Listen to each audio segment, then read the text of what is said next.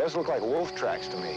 Animal made them tracks to had to be walking on two feet. This is Lindsay Wagner. Here are some scenes from the next episode of The Bionic Woman.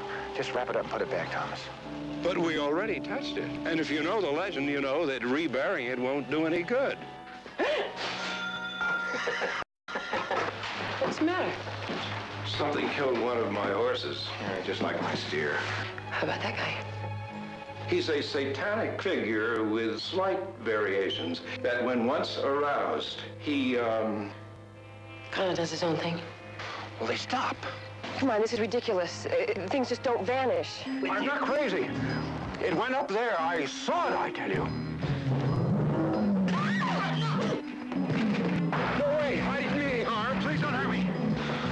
She touch the missile. It could be after her now.